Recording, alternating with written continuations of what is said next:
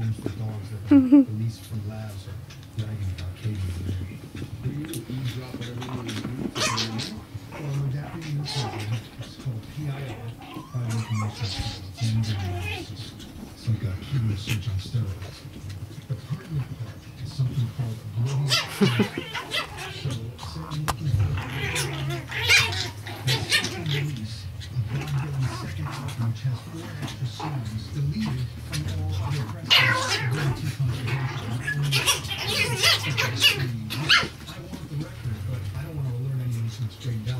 So I hired smart shops to go every record they can find to see which one has the extra songs. The secret shoppers don't